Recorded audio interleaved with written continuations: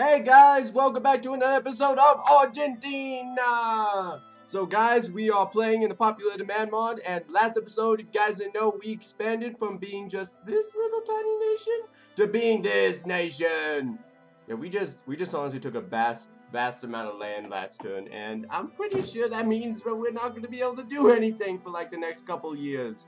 So let's just sit back, chillax, and just honestly work on our clergyman population. Because we want to make sure that we have a... No, never mind. Let's not work on our clergy population because our clergymen are exactly where I want them to be. And that is good. that is honestly good. So, now that we're done with our clergy population, what our next, next natural focus should be is actually we gotta start um having our bureaucrats rise up to power. Yes, the bureaucrats, the people everyone hates in the world, but they help our they help our government become great and honorable and uh, just kidding, they just help us pay better taxes. So, yeah, let's get them. So, we're to put this on to like speed, couple good speed. Ah, I hate that beginning game crash. It really doth stink. I really wish I didn't have to deal with that, but for some reason the game always is like, yeah, your car is going to crash right in the beginning. I'm like, oh, come on. I, I really, you really can't do anything, and you really can't do anything about it either. That's the worst part. Is that once this game crashes, you can't do anything. You just have to wait until it recovers by itself. And sometimes it doesn't even recover. So if you have a really healthy economy, it's like a big FU to your face, and you're like, ah. Uh, see, and I already know my economy can't quite tank as much as I want to. What I'm probably gonna have to do is I'm probably gonna have to include education a little bit lower because I don't I do believe we can't go into debt just this quickly in the game. I mean we did go into debt but we can't go into more debt.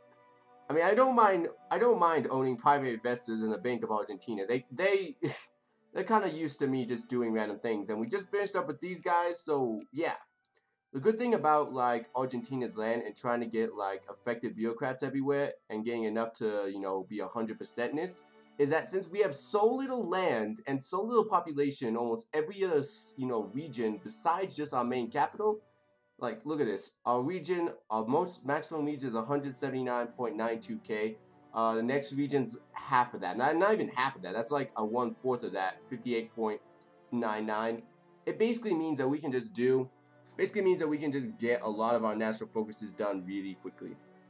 But that also means at the same time that this deteriorates at a very rapid speed. So hopefully that won't happen, but we'll see. Anyways, we have our army chilling out over here, not taking any attrition, I'm hoping, because at this point, if we were to take attrition, all these soldiers would just die. Not, not to be rude, they would just die. okay, so we have a good, decent economy starting to shake up. Um, we need to start bringing down tabs. If I don't start bringing down tabs now, we're going to have a difficult time. A very difficult time. Uh, what else? Let's see. We're about 17th in the world. That means we just became a civilized nation again. Hoorah. And what I have to be wondering is, what is it looking, what are the world's powers looking like in terms of prestige? So the biggest prestigious nation right now is 175. Okay, that's not too bad. We could actually achieve that.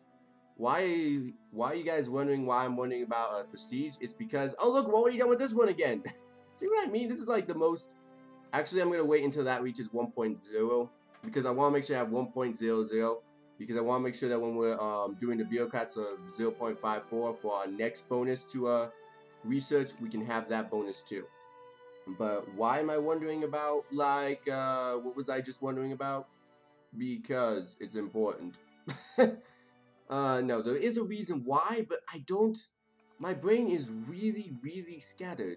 And so I forget things at an insanely fast rate.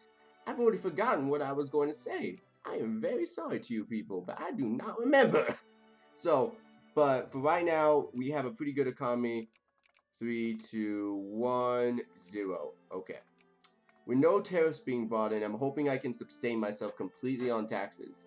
Completely sustain yourself on taxes usually can help you out. Colonial efficiency, good. Oh yeah, culture-wise. That's what I was thinking of, culture-wise. Um, what we're gonna do is basically just going to, let me make sure, do I do it now? Do I need any of these? Definitely don't need any of these yet. Um, yes. What we're going to be doing is we're going to be trying to take down, tank down all of these kind of technologies so that we can, um, so that we can like get some, uh, you know, more advanced stuff like prestige, the five percent prestige bonus, which. You know, if we were a great power right now, we'd be like, oh, that's so stupid. Why would we need a 5% prestige bonus? Well, if we look at our next competitor in the number system, let's see. Do, do, do, do, do. The Ottoman Empire. Wow, we just did a campaign with you guys. They have zero prestige, a three, and a total is 32. What's our total? Our total is 30. We literally would need that prestige and we would jump up and become a second day power again and start gaining even more prestige, thus perpetuating ourselves to even greater greater power Nessie ness. Yeah. Those are words, people. Those are words. So, yeah. All those things are very important to creating a very, very stable, stable government, especially, especially since we're kind of like the, uh, well, I would like to say this. We're kind of like the underdog. Well, not the underdogs. We're kind of like the poor man's people. I mean, we really don't have any benefits. Well, I'm basically what I'm trying to say, people, is that the rest of the world doesn't think much of Argentina. They don't. They really don't think we're going to be able to rise to great power stacks. Okay, we got can factories. That's good. I need you guys to start producing stuff. Ooh. Oh, shoot. Yes. Start producing that as soon as possible. I bet a lot of you guys are wondering, wait, wait. Why why is this a big deal? Because usually I never get a gun fa a gunpowder factory. I usually have to do it. You know, I have to create all this stuff myself. And so to actually have a gun factory this early on in this game, that is a good that is a good like sign. And with that gun factory, that means we can actually start supporting our troops a little bit better, which means we don't have to worry about our troops are just going to randomly die every single second. And no, I'm going to keep producing this until it goes up to 1% of the population because that's what we need to do. And gun factory is going to be made. I also really need to pay off all my loans. This, it's all, this is all becoming, I'm getting to all this stuff in a very roundabout way, but as you guys can see, there's a big gigantic crisis between the United States and the UK, probably over um, somewhere in the Oregon region. region. Origin, Oregon, re Oregon region. Yeah, there we go. Yeah, sorry people. I'm trying to work on a little bit. I've noticed I have a little bit of a speech impediment problem now with my R's, and so I'm trying to work on it. So if you guys, uh, I don't want to ask this, but if you guys ever notice anything of me pronouncing words wrong, I give you full reign to go in and correct me because I'm really trying I'm really trying to correct myself so I sound more proper and more um you know easier to understand. But anyways, like I was saying though, yeah, these two are gonna fight over this region. Most likely what's gonna happen is the United States are gonna come in and destroy the Northern American um basically Canada. It's really not gonna be much of a fight. I mean I wish I could say it was going to, but it's really not what's going to happen is that they're just going to be easily stomped and we're just going to see a gigantic, you know, yeah. so let's see, but our capital is now completely underneath our control, which is good. Um, let's see, has the, do, do, do, has the, how fast is the degradation here? Seems like we're controlling most of these regions pretty heftily, which is good, but I have a feeling that once we get to these regions, they're not going to be able to control it that well. We have already 59k right now in the bank, which is good, so that means we can start, like, lessening our taxes. Actually, the first thing we should be doing before we start decreasing our taxes is we pay back our loans. We pay, like, loans, and, oh, that, pay yourself? What? Wait, wait.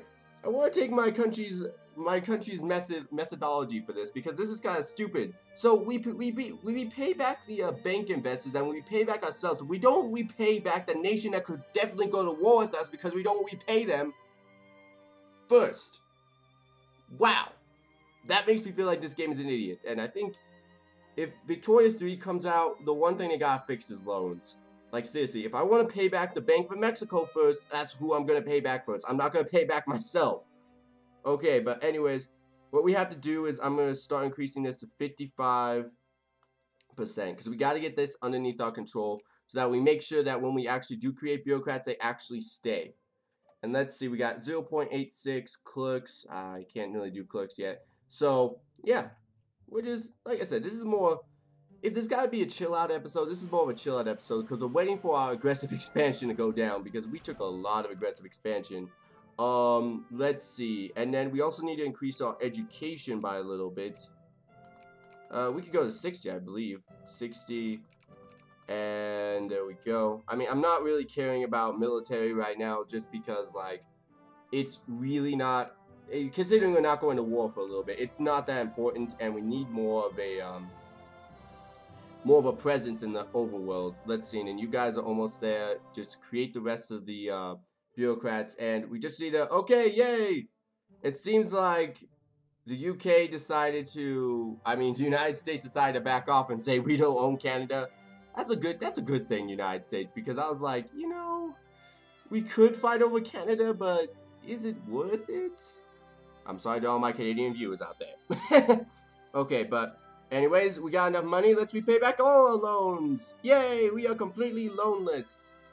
And now we do, we just kind of have to, yes, as you guys can see, our economy just took a big boost because we just became a little bit unloaned for about a couple days though. It wasn't like insane amounts, but it's good enough. We also need to start making sure we have allies. So, hey, Chile, Chile. Wait, would you guys actually accept an alliance if I actually got you guys? Infamy, distance, too many allies. I wouldn't say I have too many allies. I would say you have too many allies. Mm-hmm. Mm-hmm. Okay, so let's see. Force. We need to start. we need to start thinking about who our next allies are in this um in these regions because we need to make sure that we don't die. Oh wow. I, I think the Peru-Bolivian alliance is going to last here, which kind of stinks, but I couldn't really do much about it because I was just like too busy just trying to do stuff. Okay, you guys get out of get out of here. Uh, let's see, and increase this to like 90, uh, 85, I believe 81, 80, there we go. 80 should be enough to wear everything around my entire, as you guys can see, some of these state officials not working anymore. It's because we're basically getting down to the wire about what we can actually do in bureaucrats. Um, but with this many, I'm pretty sure we'll be able to keep up a good steady income of bureaucrats coming into our country, which is good. And now that our country has finally maximized and now we can officially support all these troops, I am much more happy because that makes our lives a lot easier in the future. But it still doesn't make our lives easier in, the future for the fact that the Peru-Bolivian alliance is still going on. Wow. Uh, yeah, Peru's gonna probably lose this. Um, South Peru's a release. It really does stink because we really did need we kind of needed Bolivia to lose this, but it's just the way sometimes things go. Sometimes you could try to predict the AI in Victoria 2 almost to 100% of you know, to 100% every single time statistic probability, but that usually never happens because they always do something different. Always. It's almost always you have some kind of newish thing happen. Oh, apparently there's a did the Yucatan try to revolt against Mexico? Oh, guys, you guys aren't gonna win. Why would you do that? You do, if you're gonna try to free yourself from Mexico, wait until the United States tries to destroy it. Just tries to destroy the Mexicans. Then you go in and go free yourself. Oh my goodness. Okay. So, anyways, as you got, as everyone can see, we are slowly but surely starting to build up our, you know, stuff. We now got 50%. I'm gonna try to raise it to 60 uh 60% of our of our supply limit going up which makes our economy look really really nice on paper. Like we are really looking good. And we're right now 20th in the world but that's only because we haven't gone to war with a lot of people in a little bit. And this also means that in a couple days we'll actually be able to field more people. Um expedition classicism around what? So I've gained five point you know what? That's good And you know why? Because I gained some prestige. And that put me back up to 18. And now I'm the 8th in the world in terms of prestige, which is awesome. Still not the best though, because I still don't have an industrial power, which kind of does stink. Um, once I'm done with all the bureaucrats, next thing I'm definitely going to try to be producing or trying to be uh, encouraging is industri is in a uh, an industrial system of people who go into factories and work for long and unpaid hours and then go home. Yeah, I should have just said laborers, but you know what? This is me, so you get a little bit more of a more excitingness, I guess. And let's see. Um, you know, we actually do need to. Ah, dang. Okay, I'm gonna wait until land organization poor lead. Ah, rats. That kind of makes me mad that we got poor leadership the poor leadership, um, you know, thing because I thought we were doing really well. Over here in bureaucrats, we're just kind of taking down everywhere. Probably what I'm gonna have to do though to get the full bonus of ah oh, dang clergyman. I'm probably gonna have to look at probably gonna have to look at like um basically the idea is, is that you want to make sure that your highest population city of Berlovius oh oh huh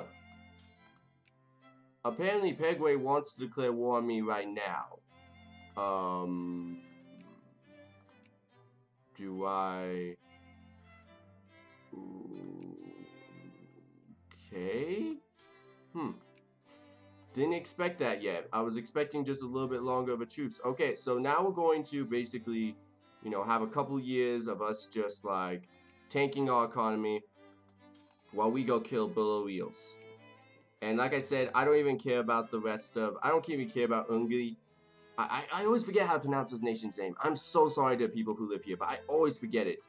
Um, basically what I'm going to go do is I'm going to just ignore those 11k troops, go finish off the, uh, the spawn men, and then start dealing with them.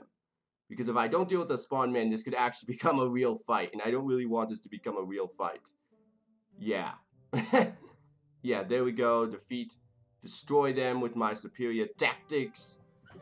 Okay, and basically I was I didn't really want to go to war yet because I kind of wanted my um, war infamy to go down a little bit more. Like, I was waiting until I had a much more powerful, like, well, army, more powerful spheres, more powerful everything. Oh my goodness, Peru, Bolivia. Ooh, that is a scary, scary, scary, scary, scary nation now. And I'm pretty sure they hate me, so Hey, Colombia, would you guys pertain to being an alliance? No. Hey, Chile, I know we've had our differences in the past with just our people, but would you really would consider alliance with me? Okay then, let's try let's try to encourage us as much as possible because we need this alliance. So, we're going to have our troops right here. Um, how much infamy? Uh, 1% not too bad. I could probably do it 1%. Um, these guys, they can siege up as much as they want. I really don't care, I guess. Because I just need to make sure that we destroy these guys first. To move focus. Let's see, Rio Nidro. I think I know how to pronounce that word, but I'm not even going to try. And let's see. We're to take over this place right here, and then we're just to go squash this army, then go squash that army. At that point, they're probably to be like, yeah, we want to, uh, we want to uh, declare peace, and I'm gonna be like, yep. And if it's really kind of prosperous, I may just actually enforce like, um, some type of some type of humiliate casus belli because as we're small, these beginning like little bit of prestige here and there will definitely help us. Definitely help us. So let's see. But this this war is kind of stupid because I was hoping the next time we would go to war against Paraguay was actually when we um was actually when we go and conquer them completely for their total population because this 1.89 population is going to be nice to have in our borders. Like, that gives us 500k right there, which is going to be nice. And a John Brown's last raid just happened. Okay, come on. By the way, you are best attacking general because we only have two generals. And, you know, you also seem better for a lot of different reasons. I don't know why I keep you in charge. Like, okay, your organization's slightly better, but uh, just, I guess I'll just keep you because I guess there isn't a definitive choice between you two. You both kind of stink. Okay, so now we just need to make sure that we hopefully win this battle. We really can't lose this battle. There we go. And now we're to go down here, go kill the rest of these guys. And basically, we don't have to worry about we don't have to worry about Paraguay anymore because their main production of troops is gone. These guys, I think this is as much as they can actually raise against me, which is cute. And let's see, are we paying... Oh, you went from paying Mexico to now paying France. Oh my goodness. You know how idiot of a move this is? Uh, my goodness, my people, man, my people. My people! You guys don't learn! Oi, okay, let's get some bureaucrats here too. Just keep just keep going down the list. 23 versus 8 should I should be able to smoke these guys pretty handily. Yep. Okay, and now with them gone, we just need to conquer back this. And basically, um, let's see. If I was to add the war goal before I before I end this episode, if I was to add the war goal of this, I'd gain five prestige for three infamy. Not worth it. Okay, guys. Well, thank you guys for watching. This has been another great episode. I'm happy to be back and doing this campaign. And so I want to thank you guys for watching, and I'll see you guys next time.